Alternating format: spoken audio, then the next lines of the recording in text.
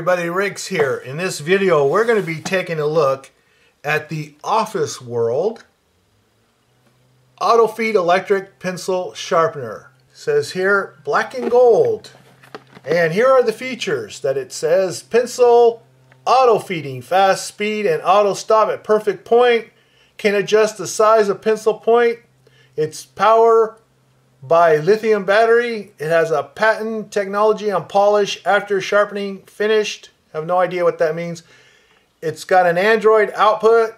There's no such thing as an Android output. I'll explain what is meant there. It's an automatic expelling when the lead is broken and it has an exchangeable blade. All right, so let's tear into this puppy and see what we've got going here.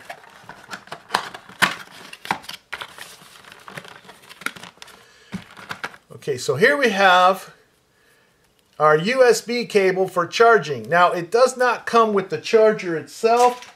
It comes with the cable that you will use, and you can plug this into a USB port. It's a 5 volt charging, so make sure that uh, it's 5 volts. Mostly USB is 5 volts. Now, this connector right here, what they're referring to is uh, Android, okay? Is actually called uh, a USB micro type B connector. That's your so-called Android thing, but it's not Android. It's USB. Okay, plastic cover. And then we have in plastic our sharpener.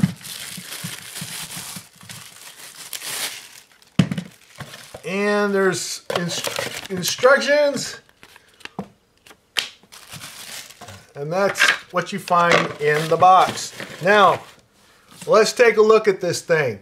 Right off the bat, I would say that first impressions, it is a handsome looking sharpener. Black and gold indeed. I think it's very good looking.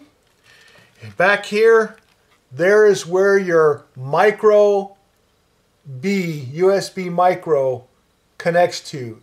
They list this as an Android output. That, that's not an Android output, even though Android phones would use this type of connector. We don't refer to them as Android outputs.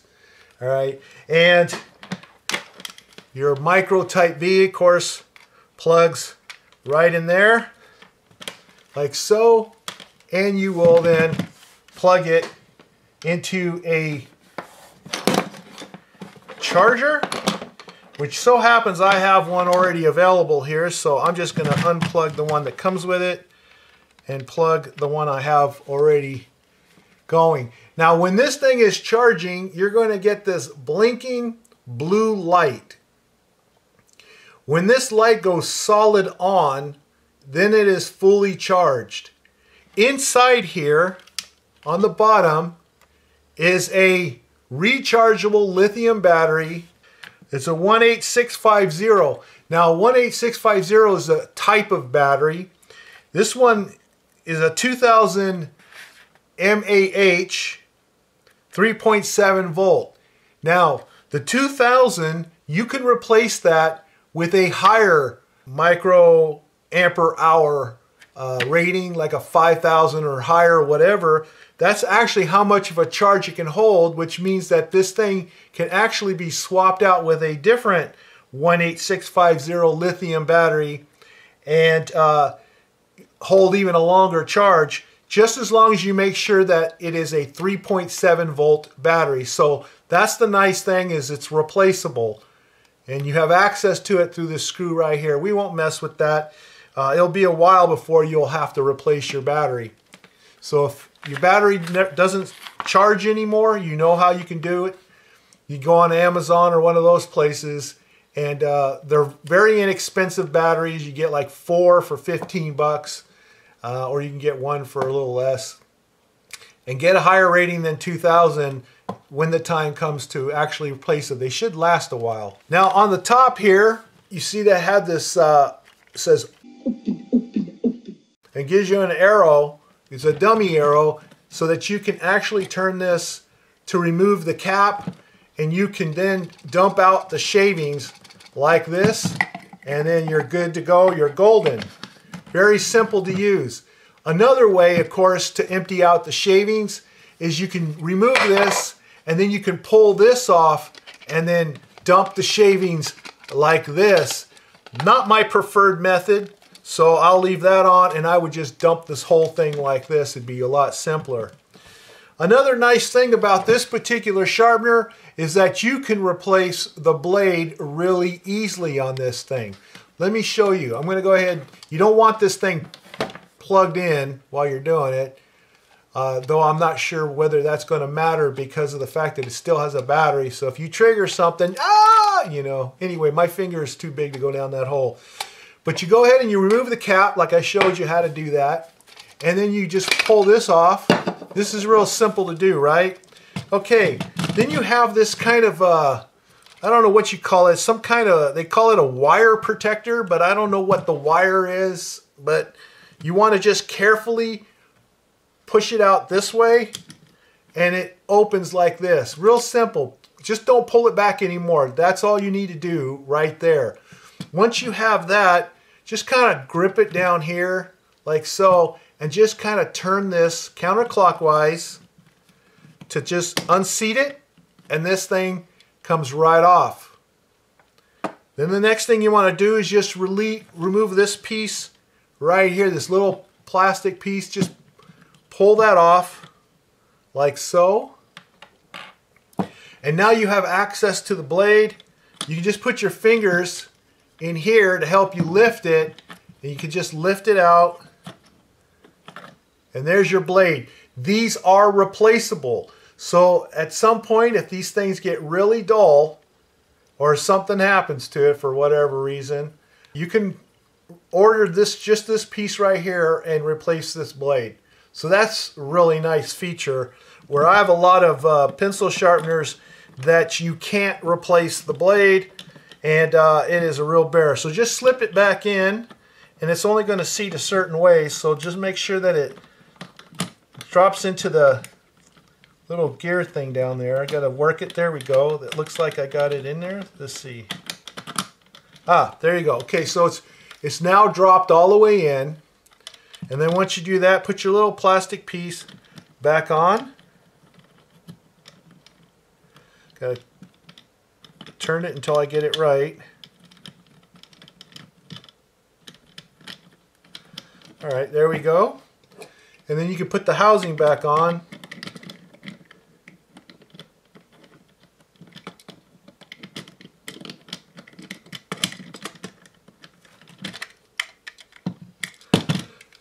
make sure, I gotta turn this thing so it aligns up, make it easy.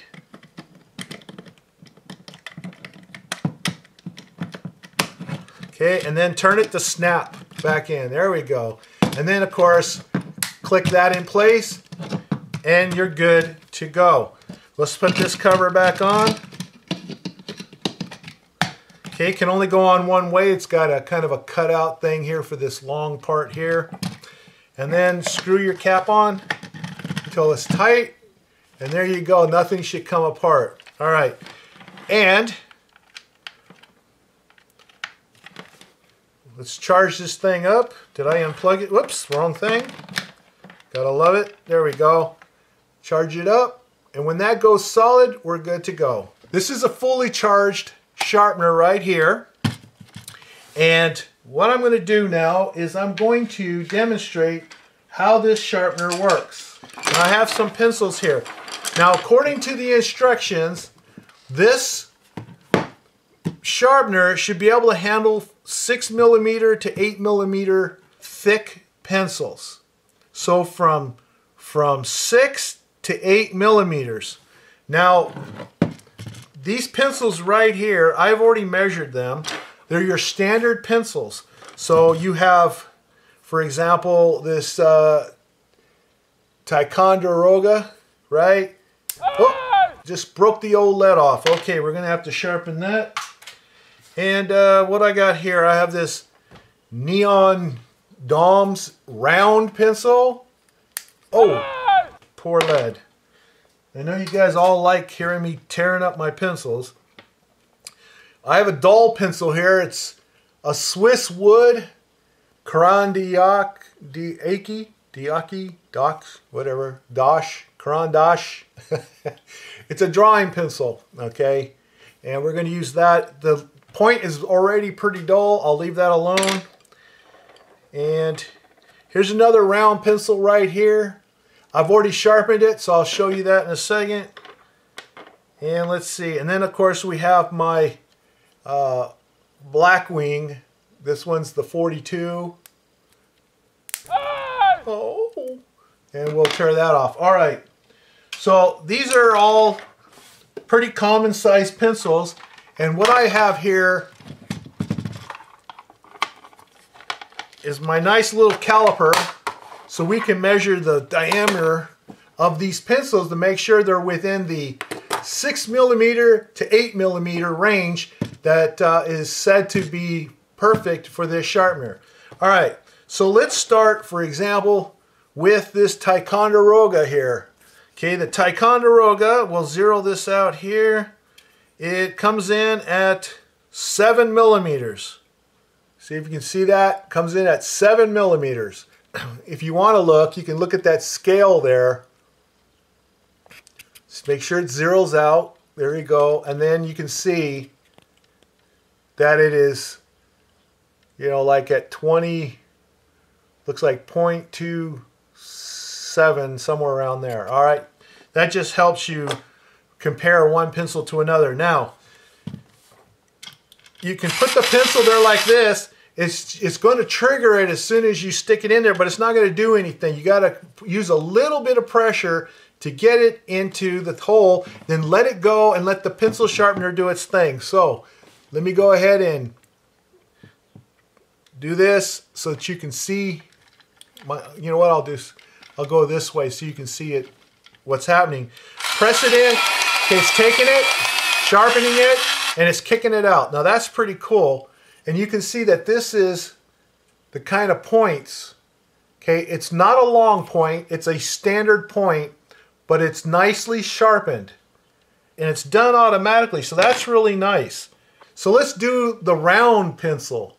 And for the round pencil, let's find out what the diameter is on this.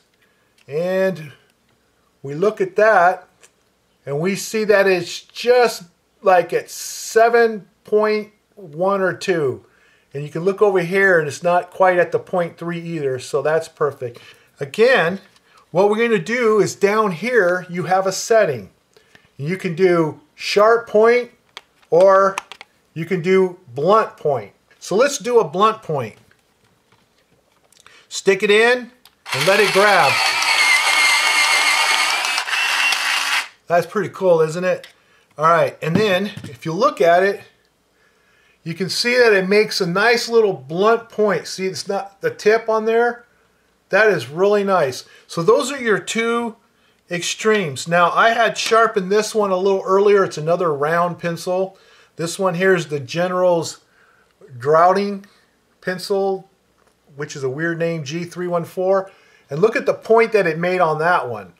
Now, it's not a long point. The long points, you know, go out to here, which are my favorites but it's a nice standard point. and when you have a big core center like this is a very thick core you're going to get a point like this see now if you want to compare that to a blunt point so you can see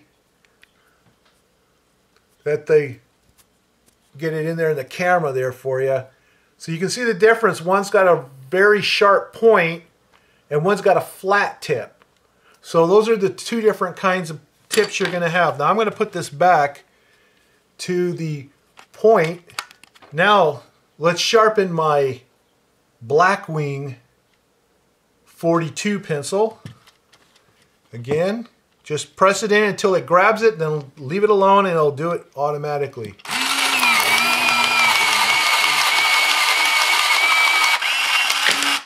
Oh, it even spits it out if it's holding it like this. Otherwise, you're going to do it like this and it'll just go up. Okay, and then there's the point. Nice point.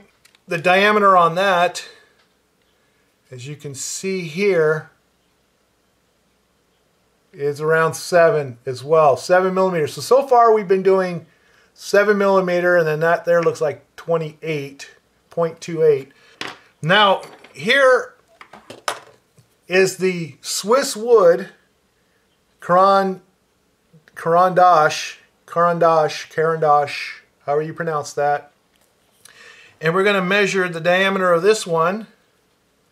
Now you'll notice that this one has gone to 0.29 to 0.3 on that scale. But if you'll look here, you'll see that it is not at 8 millimeter, it's at 7.5 millimeter. So this pencil sharpener is rated up to 8 millimeter, from 6 to 8. But take a look at this.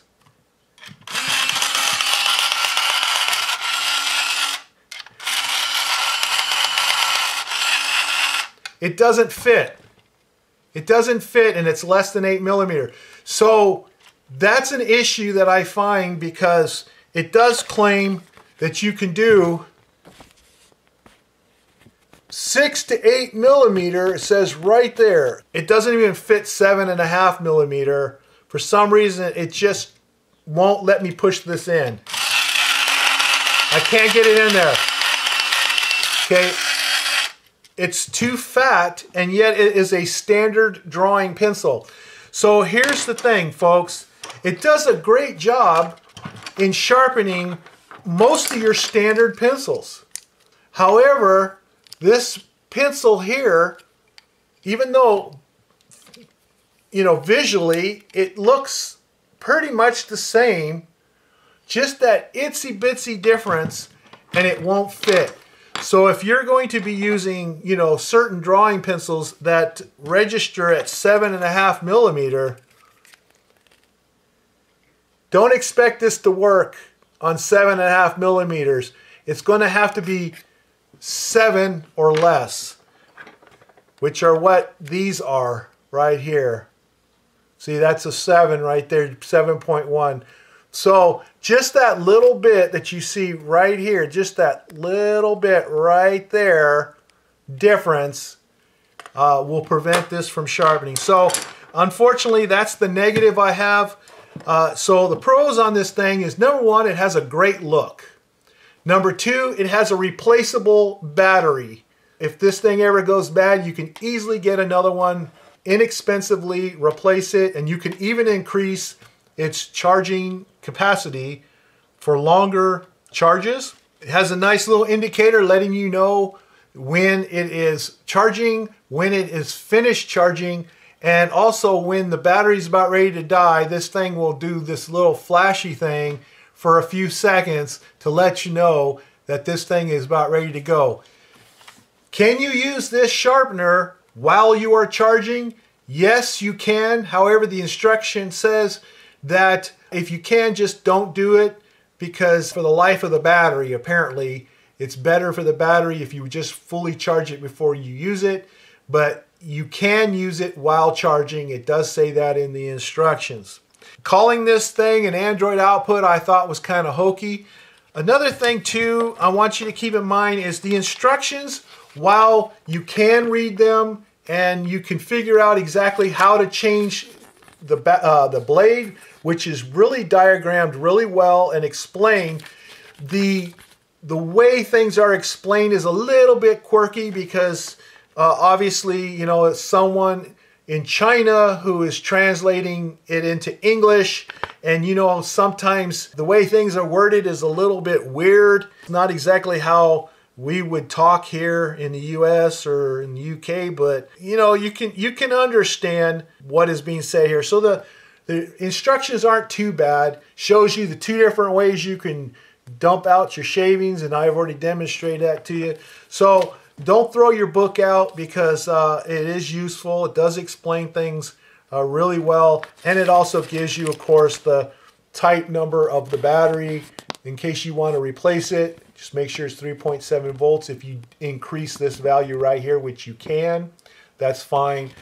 Also note on the cons, this thing does not fit 8 millimeter pencils, at least not the ones that I've got right here, unfortunately.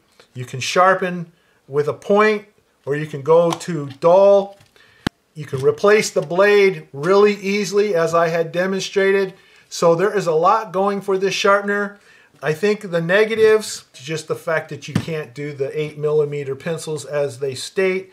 I would like a sharpener like this to do two different things. Number one, uh, maybe make the points a little bit longer, but that's just people like me who like super long points, but that's not, you know, what everybody wants.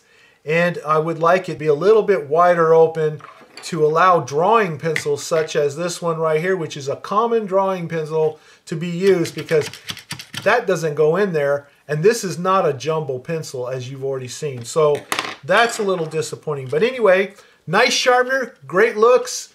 I don't know what else to say about it except I'm going to have to now empty this out and uh, it'll be a nice addition to my sharpener collection. Please give me a thumbs up. Subscribe if you haven't done so already. Click the notification bell so you'll be informed of upcoming videos.